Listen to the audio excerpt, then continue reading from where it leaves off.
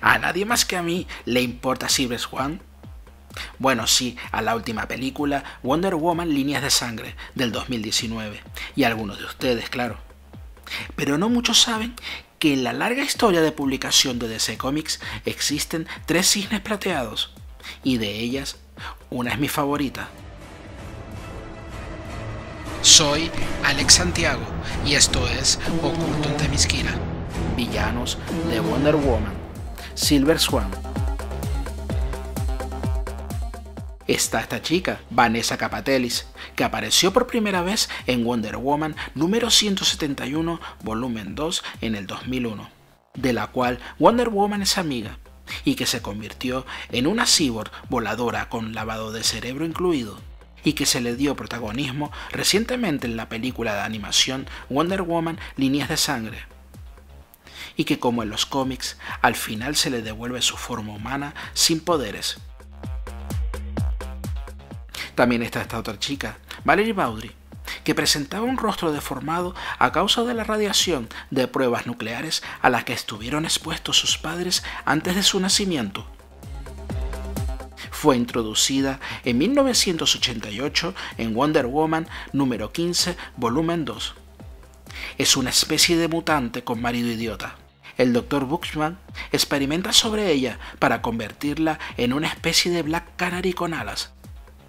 Su nuevo marido y benefactor del experimento, Henry Cobb and Brewster, abusa del agradecimiento que siente ella por él, la manipula y la usa contra Wonder Woman. Valerie con el tiempo, después de varios encontronazos con Diana y entre otras incursiones, pasa de villana a antihéroe, llegando incluso a ser parte del escuadrón suicida. Pero para mí nada de esto importa. Mi cisne plateado favorita es la original Helen Alessandros. Helen es una bailarina que no puede encontrar trabajo porque parece una Mila Kunis sin maquillaje. Eso ni siquiera es una broma. Creo que se siente atraída por parecerse a Mila Kunis antes de que Mila naciera siquiera.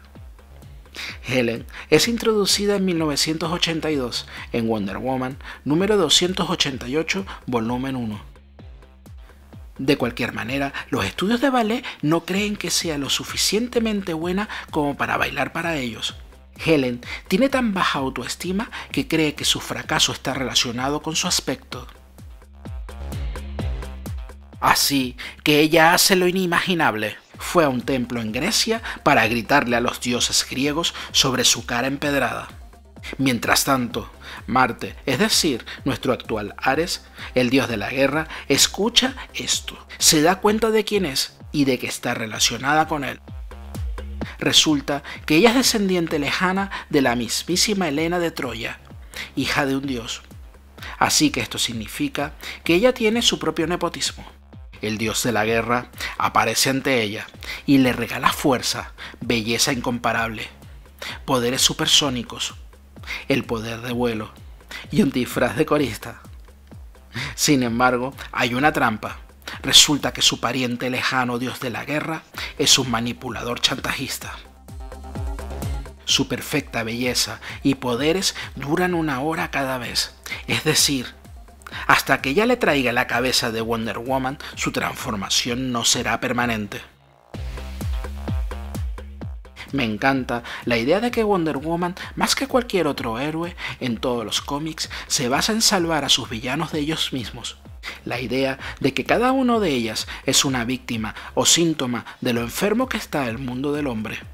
No es que Helen quiera ser malvada o lastimar a Wonder Woman, es que nosotros como sociedad sobrevaloramos la imagen lo suficiente como para que ella sienta que tiene que matar por ello. Cisne Plateado es una historia trágica de belleza vacía, odio a sí misma y personajes de lentejuela que mucho como Cisne de Plata necesitan ser queridos. ¿Te has sentido alguna vez como un patito feo? ¿O conoces a alguien que se siente como tal? Recuerda que solo nos define lo que hacemos y proyectamos desde dentro, no por lo que parecemos o la marca que llevemos. Tú eres grande, sí créelo.